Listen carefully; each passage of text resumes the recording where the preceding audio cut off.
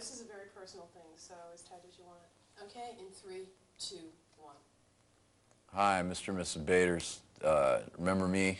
I'm Iggy Pop. I met you. Uh, I met you at uh, Swingo's Swingo's Lounge in uh, Cleveland with Stiv. It was nice meeting you. Um, I just wanted to. I can't be there where y'all are, so uh, just wanted to say I, I felt really terrible when I heard that uh, what happened to him. He got hit by that car and passed away. And uh, I was in Paris uh, shortly after that and dedicated a song that I was doing anyway to him. And uh, I just wanted to say that I know it was your, uh, that was, you know, was your only boy and everything, but um, he really,